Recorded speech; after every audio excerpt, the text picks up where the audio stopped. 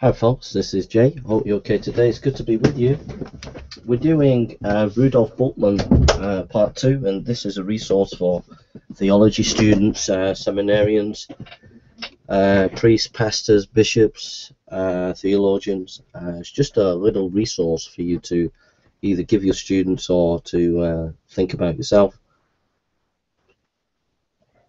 the source for this chat and discussion is Rudolf Bultmann, um, outstanding Christian thinkers, David Ferguson, uh, pay, uh, uh, London and New York Continuum, and uh, it's 1992, um, reissued in 2000.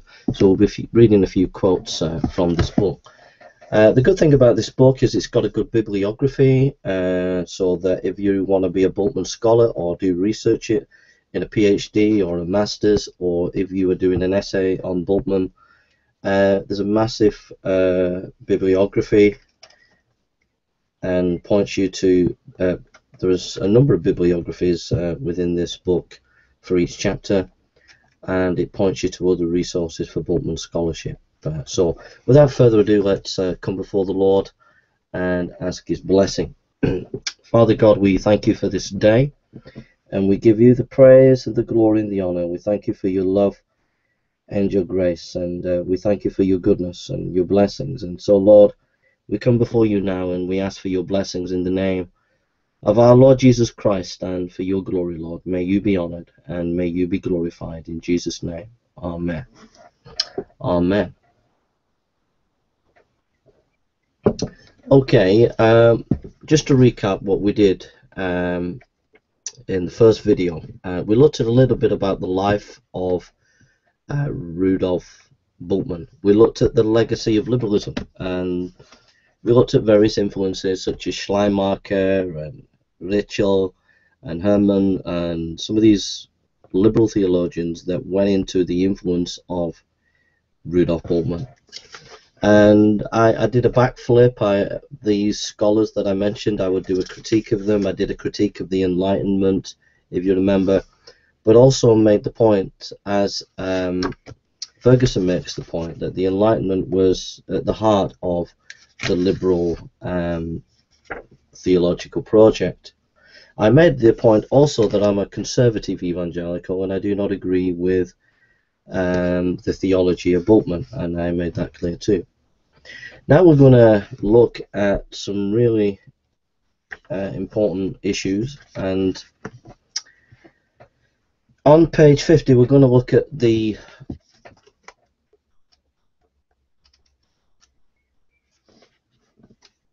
we're going to look at the hermeneutical task and then uh, the theology of the New Testament and then the demythologizing program, and then basically just finish with a few Bultmann, uh, post Bultmann scholarship. Uh, so that's where we're at, okay? The hermeneutical task, uh, page 50 of uh, Ferguson's book. He says this Hermeneutics is the science of the interpretation of written text. Traditionally, it referred to the rules governing grammatical forms and individual terms. By mastering these rules, it becomes possible to translate and to interpret an ancient text. In this sense, hermeneutics is restricted to the principles of informing philology. Then uh, Ferguson goes on to point out that uh, Schleiermacher added a new element to hermeneutics. It was not only about grammar, it was also seen that we had to get into the psychological makeup of a writer if we wanted to know what the writer actually said. So, uh, quote uh, Ferguson, uh, page 51, our understanding of soliloquy or a headline is conditioned by our understanding of what the meaning of the whole text is. At the same time, our understanding of the whole can only be arrived at through the interpretation of the parts. There is thus an inevitable circularity in any process of interpretation. End of quote.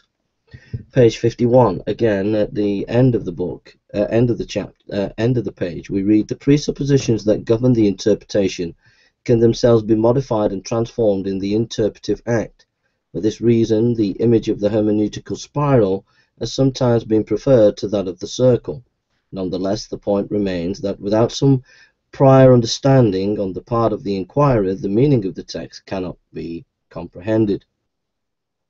And then there was uh, Wilhelm Dilthey, uh, 1833 to 1911, that continued the the philosophical uh, reflection concerning hermeneutics and influenced um, Bultmann. We read these words. Uh, I'll just get you the uh, reference for this.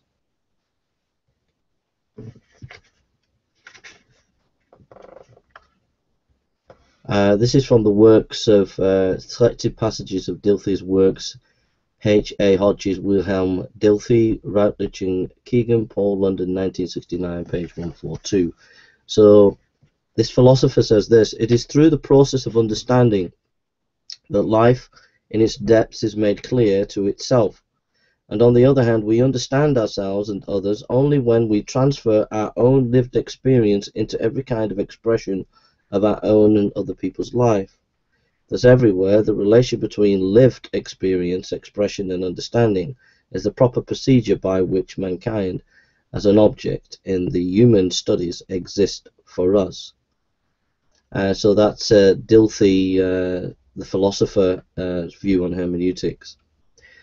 Um, going further on on page 52, we read uh, from Ferguson, who says, "It is only from within a certain within a certain historical situation that a text can be interpreted and understood. The text itself belongs to another person's history, and understanding that text may enable interpreters to reach a deeper understanding of their own historical existence. Now, Bultmann uh, took Schleiermacher, he took Dilthey, and he took also uh, Heidegger and was influenced by Heidegger. And in Ferguson's book, on page 53, we read the questions that are put to the text will have a bearing upon answers that are discovered there. We read page 53, like Dilthey and Heidegger, Bultmann constantly emphasized the importance of the historical nature of human existence. It is only by participation and self-involvement in concrete existence that understanding can take place.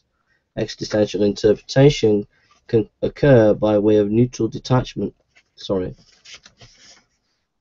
existential interpretation cannot occur by way of neutral detachment or cold analysis.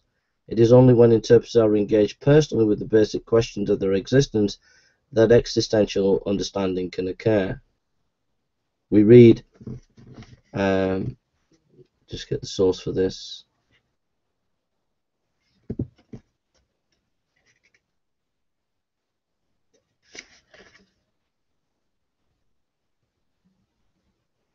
This is problems of new hermeneutics. I think it's um, Bultmann. The most subjective interpretation is the most objective, because the only person who is able to hear the claim of the text is the person who is moved by the question of his or own existence. Now we can't go into uh, a deeper analysis of of Bultmann's um, project's hermeneutical task. But then again, we can. Um, I think it's important to do that because hermeneutics is a is a very important subject in any academic discipline.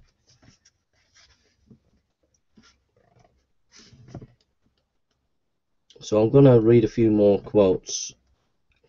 In Karl Barth's Epistle to Romans we read, Calvin having first established what stands in the text sets himself to rethink the whole material and to wrestle with it till the walls which separate the 16th century from the first become transparent. Paul speaks and the man of the 16th century hears.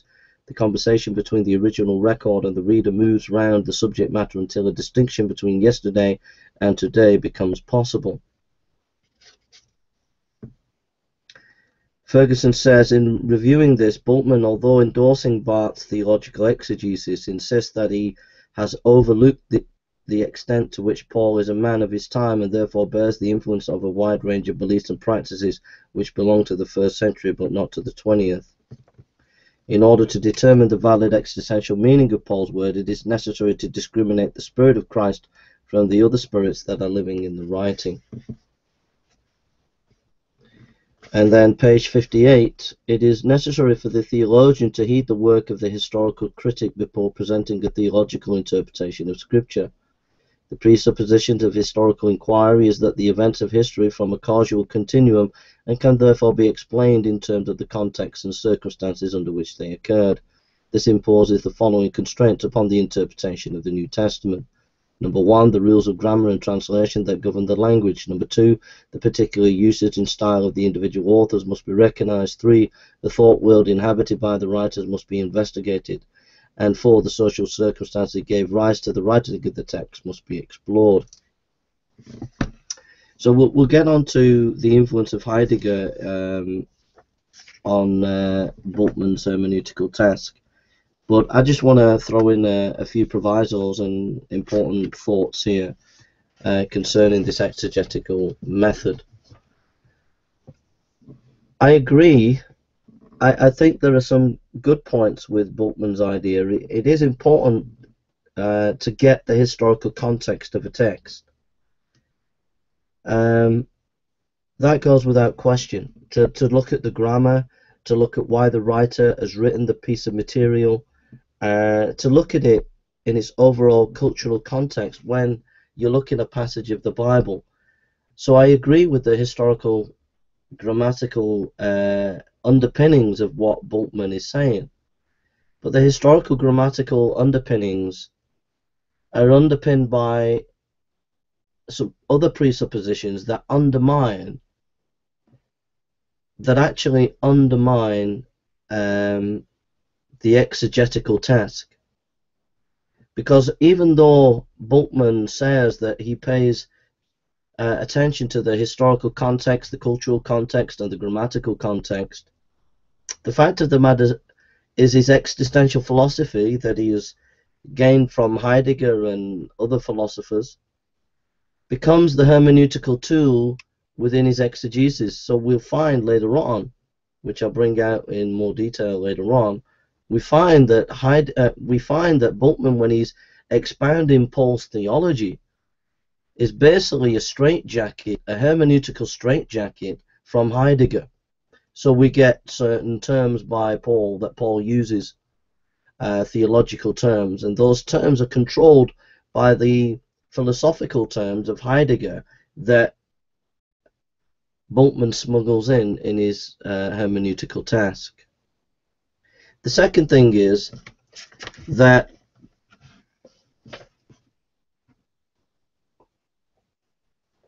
there is a presupposition against propositional revelation. The idea that God can speak through words is not a given within this exegetical task. So it's not about finding the mind of the author as in i.e. God, as well as the natural author of the text. But it's more about the existential moment, finding the answer to an existential question at this present time, whatever that might be. And that is the concrete knowledge that we can gain. But that is not what real exegesis is all about. It's, it's about coming into contact with an objective text that can give us objective knowledge of God. Now that does not discount the subjectivity or the uh, presuppositional uh, the presuppositional baggage that we bring to a text, or the fact that we we are in uh, a position of learning where we are constantly learning from a text. It, that is not discounted, but it's important to recognize recognize that in the Protestant evangelical tradition, we are we are studying an objective text, a text that speaks to us of God and a text by God objectively who's worked in history and has inspired propositional revelation uh, that has been recorded. And so, therefore, it is uh, behoven on us to look at that text and to study it as best we can and to gain a knowledge of what it's saying. And so, it's not just about asking questions today and how are they answered within the text, but it's about finding the mind of the author and how then does that text relate to today. So that's a significant difference in uh, her, the hermeneutical text than what Heidegger would suggest. And also, I think, and, and what that means is that we can know truth. We can know God. We're not going to know him in in his fullness because he's infinite. But we can not we can have knowledge of God. We can have knowledge of the truth. It doesn't mean to say that the truth is exhaustive. Because we're only finite, we're only limited, and we continue to learn. But that mm. truth is there irrespective of whether I bring a background to the text or not that is a significantly different different understanding of hermeneutics than Bultmann and I think much of modern scholarship today.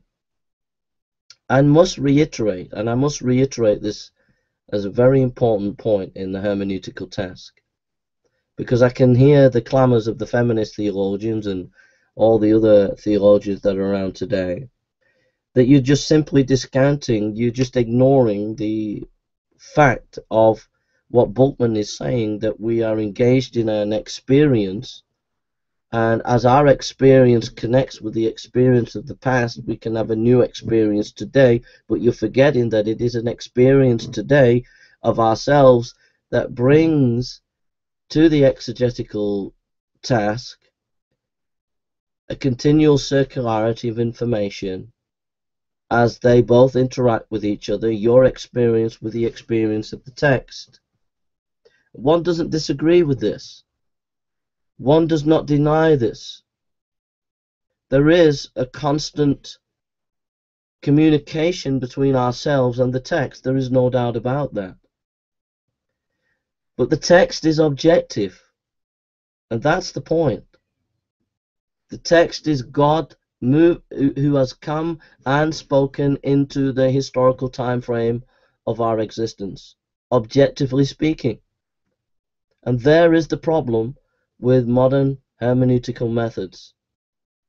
It is really in a cycle of subjectivity, whereas Protestant dogmatics is in a cycle of objectivity with subjective reflection. In other words, we come with our own experiences, but we come to the objective Word of God that has spoken to us in time and in history. What are the implications of that? Well, what that means is you end up then, if you take that kind of hermeneutical method that I'm expounding, that was expounded by Adolf Schlatter, and so those who are theologians today would do well to go and study the paper and the writings on hermeneutics by Adolf Schlatter. What that means is you're going to pay much more important um, work to the exegetical task than you've ever done. and you're going to make sure that you allow the author to speak and make sure that your presuppositions are pushed to the side as best you can to allow the text to speak for itself. That is what John Calvin did, and there was a mighty revolution. It's what the Renaissance actually did. The Renaissance actually promoted the kind of hermeneutics that I'm trying to tell you about. Once we get into mm-hmm. the kind of Heidegger into the Rudolf Bultmann kind of hermeneutical task, he says it is objective and subjective, but ultimately it's just subjective. But all you end up doing is exegeting a God of your own image. God becomes your little eisegesis rather than exegesis. That is to say that you take a text and you're just making God in your own image. It's all about you and about what you think. It's not about the objective God who has spoken to you objectively in His Word. Those are my initial thoughts uh, on Bultmann's hermeneutics there. Hermeneutics is a very, very difficult task, a very, very difficult uh, to deal with uh, philosophically. Uh, but I'm trying to give you pointers to move in a different direction than our modern academic world is going in concerning hermeneutics and has been going in for about 30 or 40 years. I'm trying to encourage you to move the other direction and move over to Adolf Schlatter uh, rather than the Bultmann program. So now we're going to look at uh, Bultmann and his influence by Heidegger. Uh, Martin Heidegger, 1889 to 1976. Uh, Ferguson said is one of the most important and difficult 20th century philosophers. For the purpose of understanding his influence upon Bultmann, it will be sufficient to confine our attention to his time and being. And so I'll stop there. Time and being is basically saying, uh, so I think, um, that we become authentic human beings as we act. That that's as best as I can um, answer. That it is not about the Cartesian uh, project.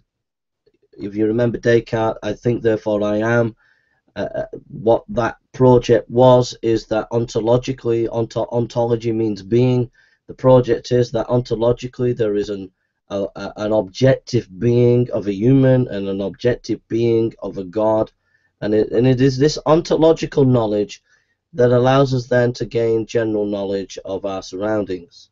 So, so I'll say that again. The Cartesian project, the project of Descartes, is basically uh, the human condition as ontological status. That is, the human being has an a being an objective being, and God as an objective being. And Heidegger turned this on its head and said, no, it's not ontological being. It's it's not a a, a static a static aspect of what it is to be human or, or to, to be God. It is more in action and the action of a moment. That is what it is to be a, a human being. And so we read we read these words. Um, I'll just read a few of these words here.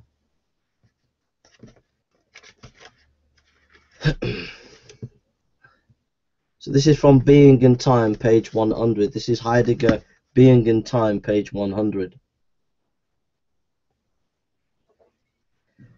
If its kind of being as ready to hand is disregarded, this nature itself can be discovered and defined simply in its pure present at hand.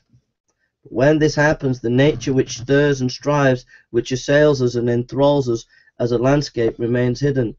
The botanist plants are not the flowers of the hedgerow, the source which the geographer establishes for a river is not the springhead in the dale. Page 61, Ferguson says, The being of Dasein is manifest in the phenomenon of care or sorge. Care or concern is one of the fundamental features of Dasein and distinguishes human existence from the reality belonging to the entities. Dasein is an entity for which, in its being, that being is an issue. In the phenomenon, phenomenon of care, other structures of human existence are brought to light. Dasein is fundamentally being in the world. It is being which is situated in a world of things and other persons. Dasein belongs inextricably to a material and social world. The world is a place in which I find myself bound up in a network of relations with things and people. Material objects are known primarily as items of equipment which determine my practical concern and other persons are with those whom I share in the world. It's, it kind of sounds like an existential pragmatist, really. So there is a hiddenness in this knowledge of the hermeneutical task from Heidegger's perspective as well, is that we, we don't fully get to know the subject or the uh, the object. There is an unveiling. Um, Ferguson writes, human existence is not fixed and determined. It contains potential and possibility. Here, the relationship of being to time is crucial. For Heidegger, truth is not primarily a property belonging to propositions that accurately mirror external realities. Truth, in its more ancient sense, is the uncovering of what previously lies concealed. Uh, Magda King writes, whereas traditional philosophy has for long regarded the proposition as the primary locus of truth, Heidegger shows it is too to be a far-off derivative of original truth, whose locus is the existential continuation of man's being and care. And then in page 63 of Ferguson, understanding for Heidegger is a basic mode of existence rather than intellectual grasp of ideas.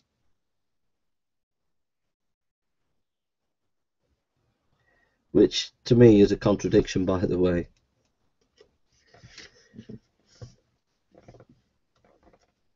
And so, uh, so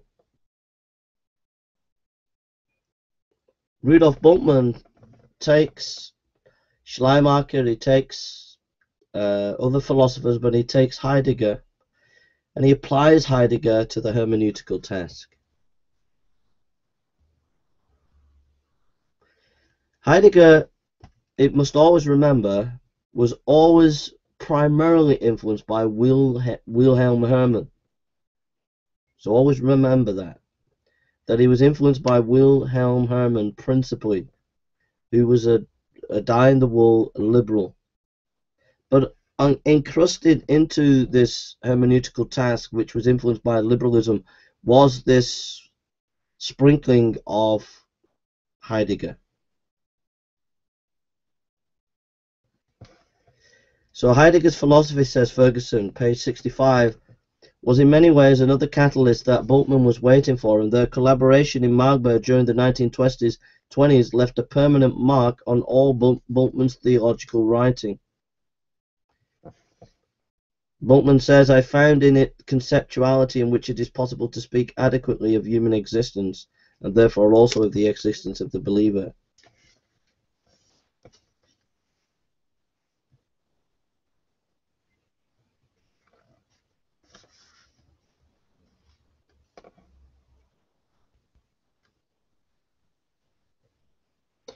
So Heidegger, uh, Bultmann, applying Heidegger, fell into a discourse and debate with Karl Barth.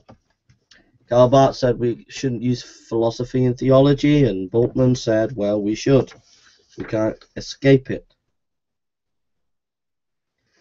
And I just want to read one last quote, page um, H.G. Gadamer, Truth and Method, page 296. And, and this is the conclusion from Gadamer's Truth and Method.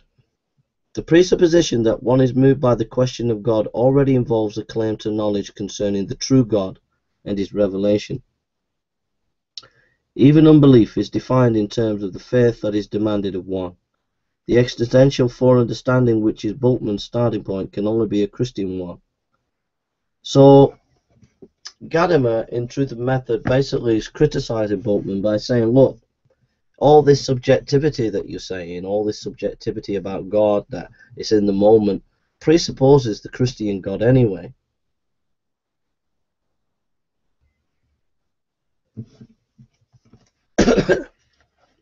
now, I'm not going to go into it here, but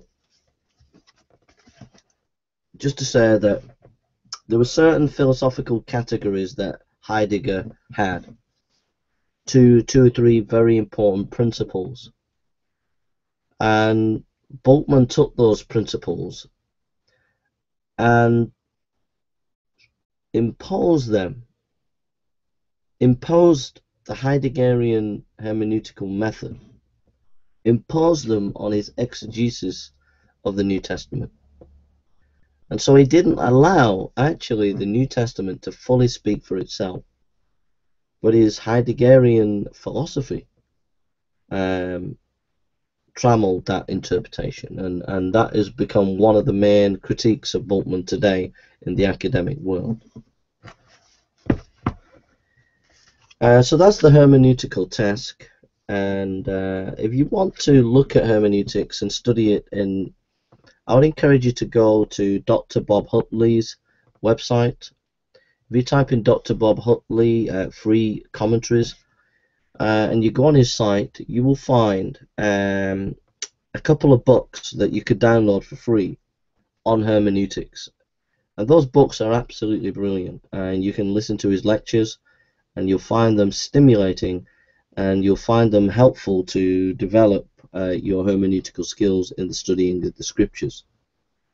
Uh, for those who are more philosophically minded, uh, I would encourage you to, if you want to think uh, from a more philosophical academic point of view, I'd encourage you to read uh, from a church perspective.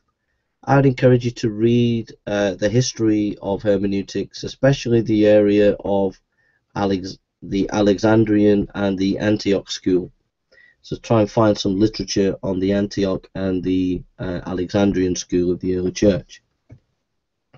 Also uh, on hermeneutics in modern uh, academic scene, uh, Ricoeur, uh, French philosopher and uh, specialist in hermeneutics, has written wrote quite a bit on this subject. Ricoeur is perhaps one of the leading, has been one of the leading thinkers on hermeneutics.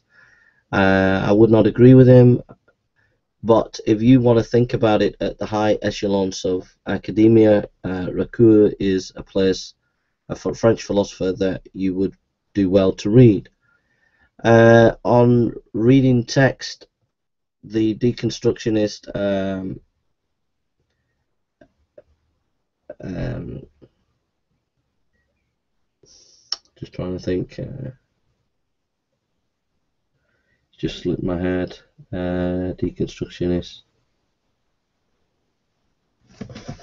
I should Derrida. Yeah, sorry, my just I'm just a bit tired. Derrida um, is a guy who's written quite a, wrote quite a lot on hermeneutics and uh, reading text. Then you got Ricoeur. For myself, I would encourage the, those are those are kind of stuff that you can look at academically. There's also a course at Yale University that you can go to uh, on literary theory and looks at uh, a whole bag and range of hermeneutical methods of understanding text. And that's at Yale University. Uh, if you go on YouTube, Yale University, look at uh, just type in liter uh, uh, literature course and you'll find a course on how to interpret text there. It looks at uh, neo-pragmatism, it looks at deconstructionism, and it looks at, at a whole lot of uh, various hermeneutical methods. Um, but I would also say that for me, um, having looked at these modern understandings of hermeneutics, I would encourage you to go back to Adolf Schlatter.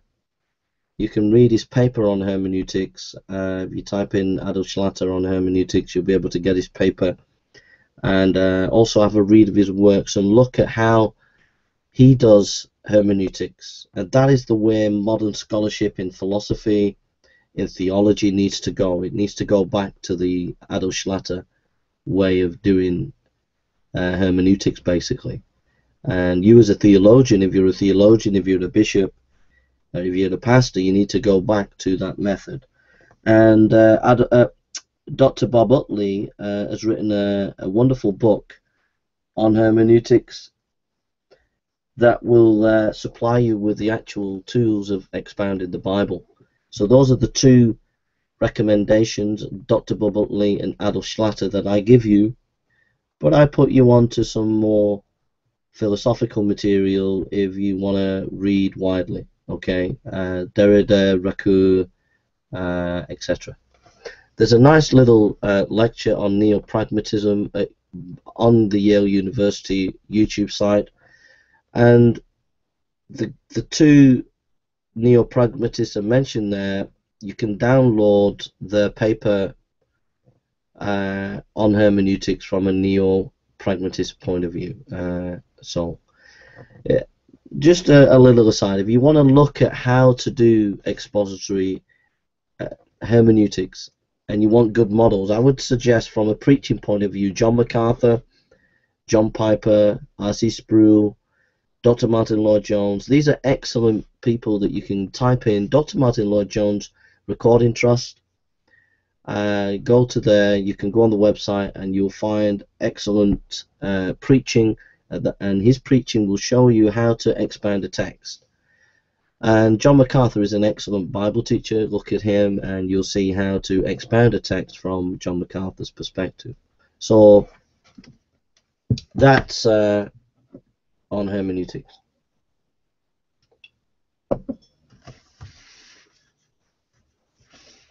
Okay.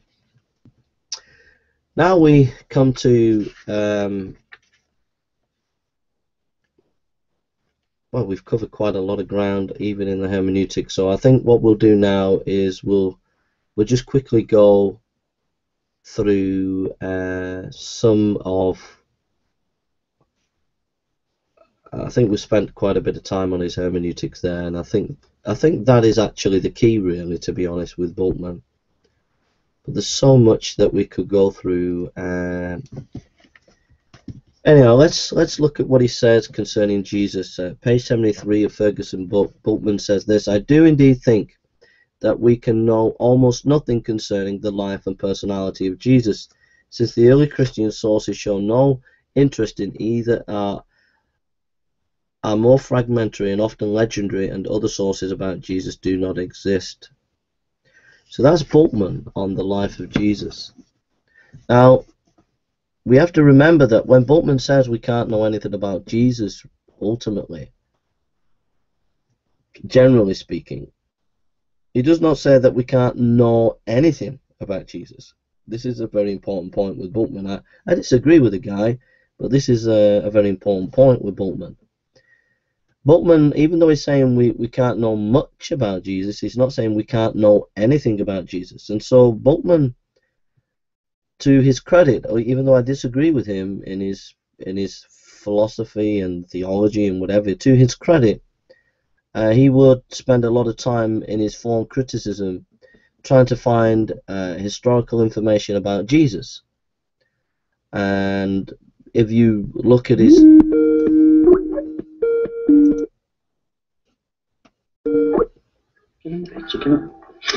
Hi, Mark. You all right? Hey, brother. How you doing? How you, Claire? You alright? You alright? I'm, I'm just doing Rudolf Bultmann. Alright. I'm on a Google Hangout. I'm doing Rudolf Bultmann part two. I've just done his hermeneutics. Should we, should we listen in then? Are you sure? Yeah, go on. We're listening. Well, just saying that this is what he says about Jesus. Right. I do indeed think that we can know almost nothing concerning the life of personality of Jesus, since the early Christian sources show no interest in either, or moreover fragmentary and often legendary, legendary and other sources about Jesus do not exist. And what I was saying is, uh, uh, on two fronts, just to start with, that he basically, um, even though he's saying we can't know much, he did believe we can know something, and he did write a magnum opus book on the Gospel of John, where he did intricate, detailed analysis of various texts to try and find something about Jesus.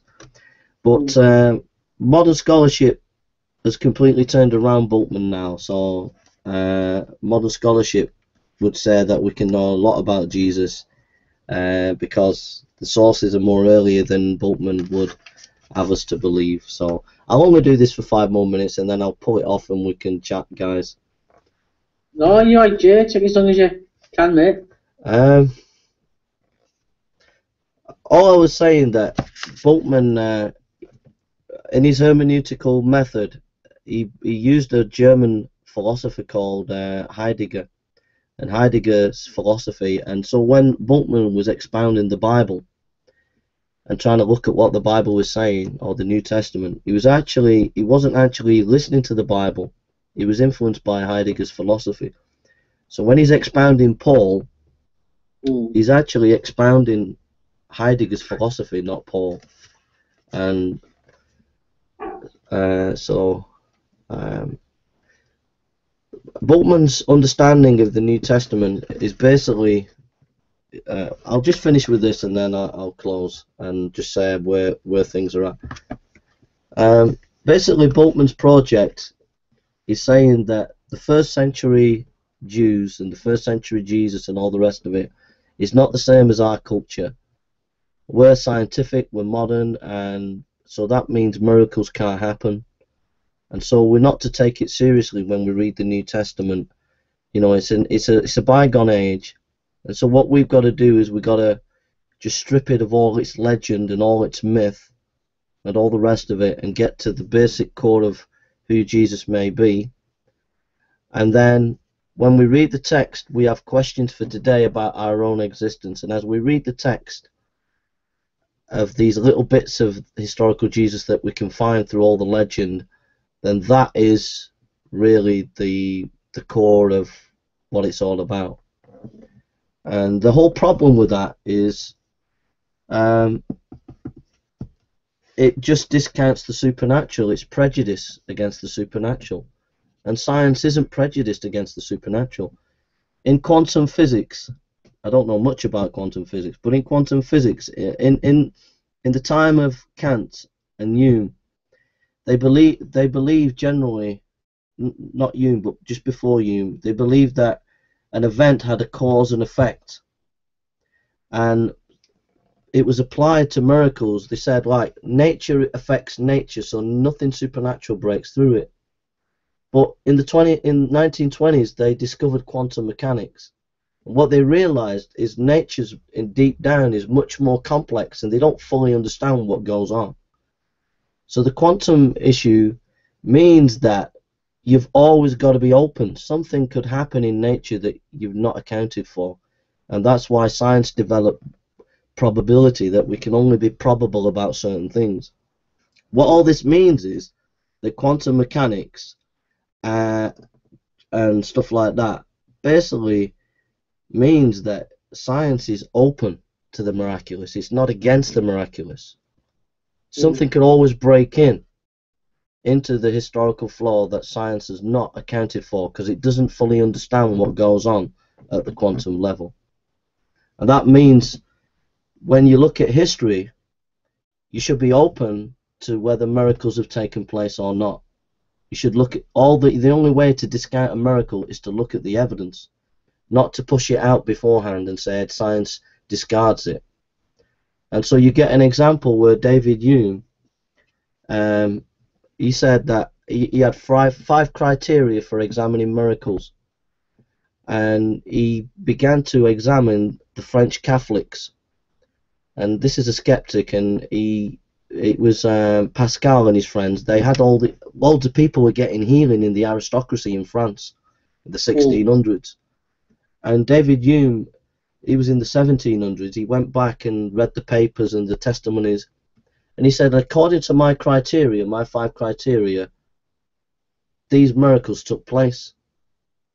But then he said, but just, but they didn't take place because miracles don't happen.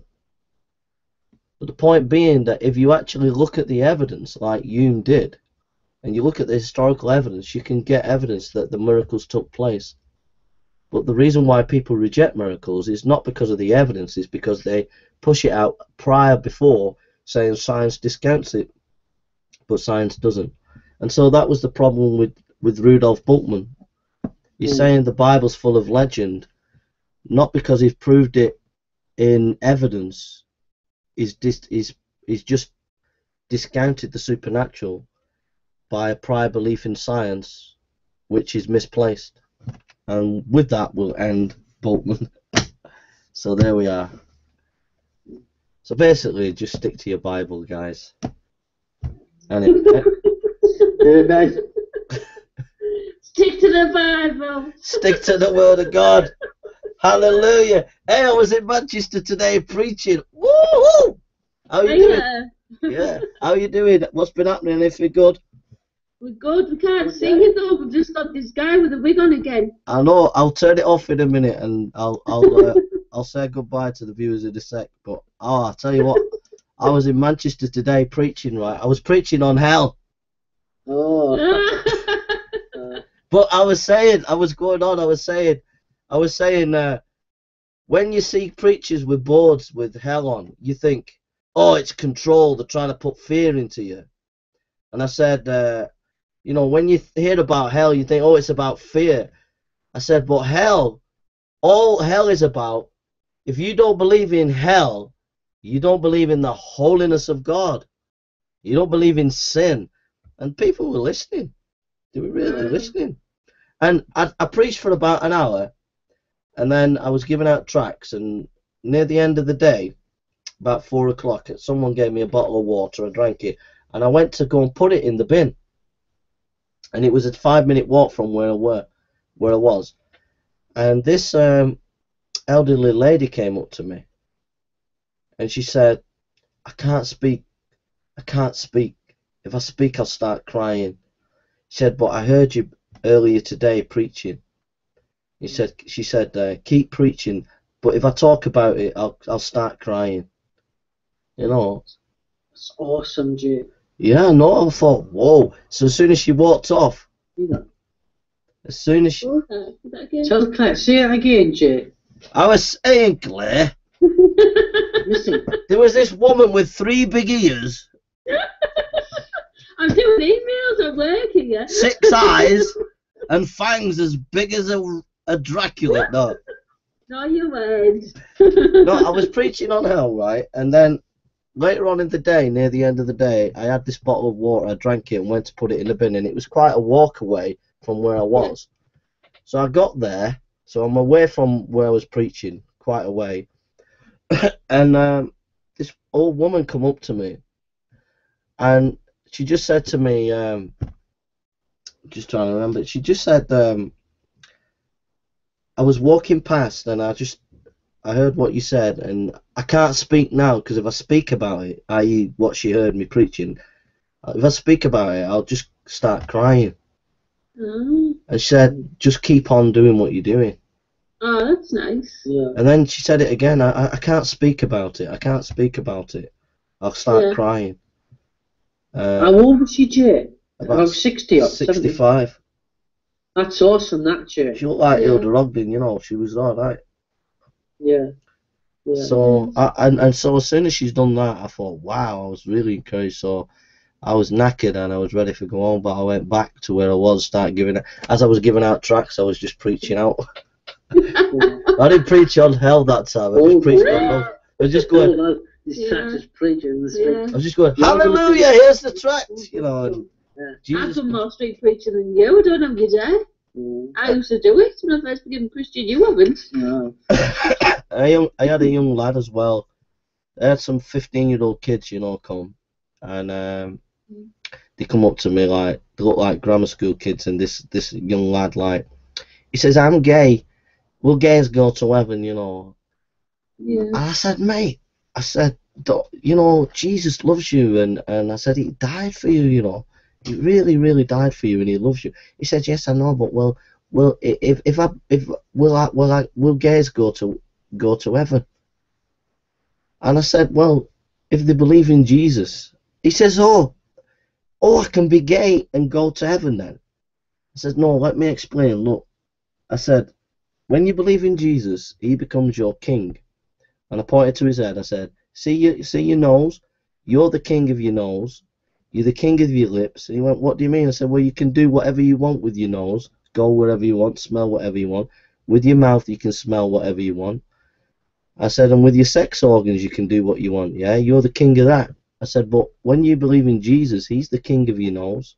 He's the king of your money. He's the king of your sex organs. So when you believe in Jesus, you, you come into line with him, and he's the king. And I said, you know, I said I struggle with sex. I said I have like my my struggles, but Jesus is my king, and I want to follow him.